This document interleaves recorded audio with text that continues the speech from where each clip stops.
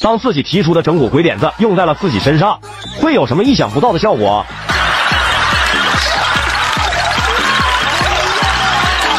搞事的节目组今天把一个日本男团忽悠来，让他们给节目组策划一些整蛊方案。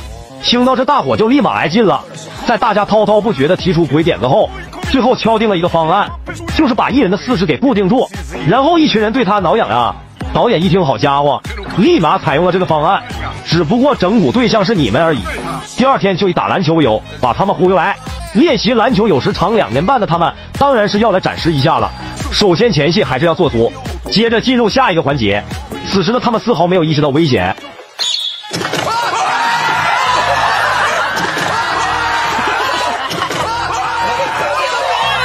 二人瞬间被控制住，还处于在猛力的状态时，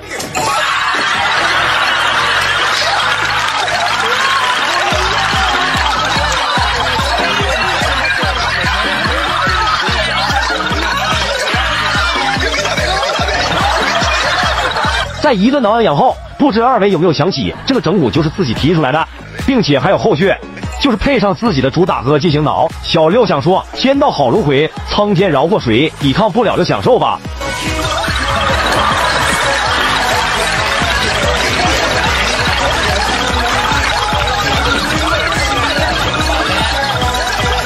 最终节目组还是手下留情了，换了另外两个小伙上来体验他们的整蛊。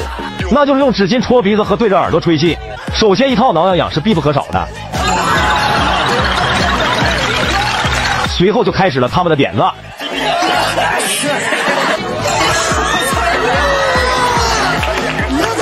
好家伙，二人被整完人都懵了，我整我自己。最后就是那天最活跃的队长了，他将体验所有提出来的整蛊。